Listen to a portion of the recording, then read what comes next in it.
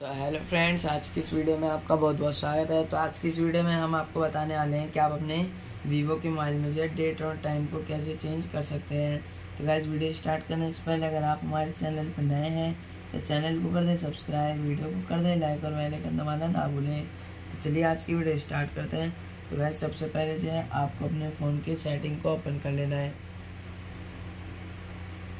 Guys setting open कर लेने के बाद आपको जो है यहाँ से स्क्रॉल कर देना है। स्क्रॉल कर देने के बाद गाइस आपको यहाँ पर जनरल मैनेजमेंट का ऑप्शन दिख जाता है। तो गाइस आपको जो है इस पर सिंपली क्लिक कर देना है। इस पर क्लिक कर देने के बाद गाइस आपको जो है यहाँ पर डेट एंड टाइम का ऑप्शन दिख जाता है।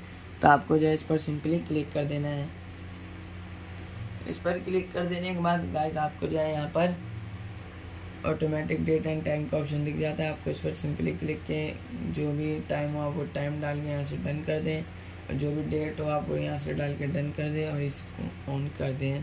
तो गाइज़ आप इस तरीके से जो है अपने वीवो के मोबाइल में डेट एंड टाइम को चेंज कर सकते हैं। तो गाइज़ हमारी आज की वीडियो यहीं पर समाप्त होती है। अगर आपको हमारी वीडियो पसंद आए तो वीडियो को कर दें लाइक चैनल को कर दें सब्सक्राइब और आइकन दबाना ना भूलें और थैंक यू